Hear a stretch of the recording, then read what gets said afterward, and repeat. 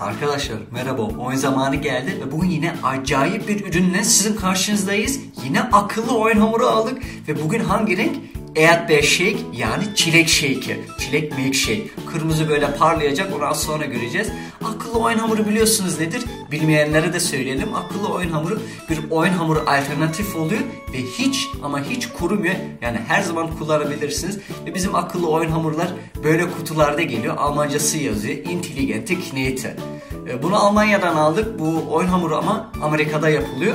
Ve direkt kutuyu açıyoruz ve güzel bir çilek şey çıkıyor. Çilek akıllı oyun hamuru. Güzel güzel parlıyor. Ve bu oyun hamurunun özelliği yani bu rengin özelliği rengi değiştiriyor. Onu tabii ki bu videoda göstereceğiz. Bu renk sıcaklıkla yani bir sıcak suyla e, rengi değiştireceğiz. Hangi renge geçecek onu da göreceğiz. Bir ilk önce bu oyun hamuruyla biraz oynayalım. Yine çok eğlenceli. Kırmızı böyle çilek gibi parlıyor işte. Çilek shake.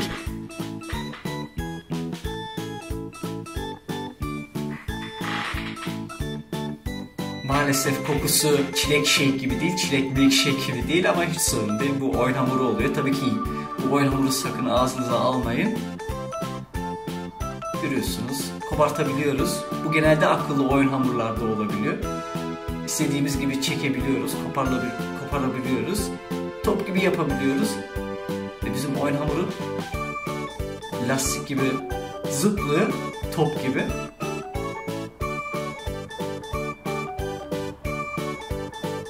Birkaç tane akıllı oyun hamurları gösterdik size. Değişik değişik renkler.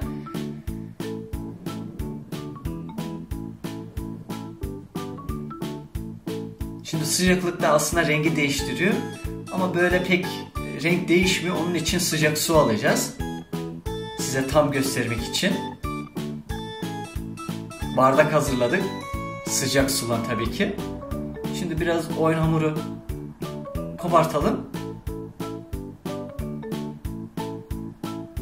Görüyorsunuz kopartabiliyoruz. Hiç sorun değil. Şimdi solda görüyorsunuz.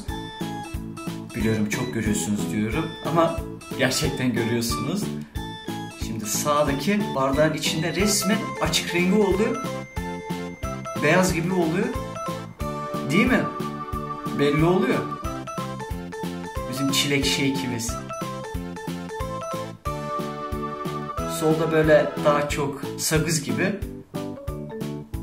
Ve tabii ki parlıyor. Gerçekten çok tuhaf.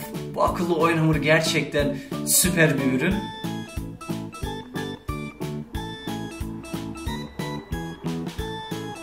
Slime gibi oluyor ama daha çok oyun hamuru gibi oluyor. Slime gibi değil. Biliyorum çoğuları yorumlarda slime diyor ama daha çok böyle oyun hamuruna gidiyor.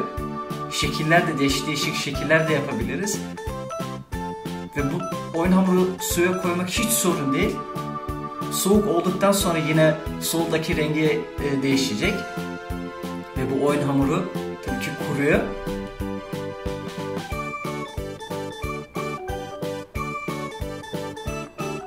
Ama kuruduğumuz dediğimde tam kurumuyor. Yani her zaman bu oyun hamurlarını oynayabiliriz. Biliyorsunuz belki Play-Doh oyun hamuru e, bir zamandan sonra kur, kuruyor ve kullanam kullanamıyorsunuz. Bunu her zaman kullanabiliriz.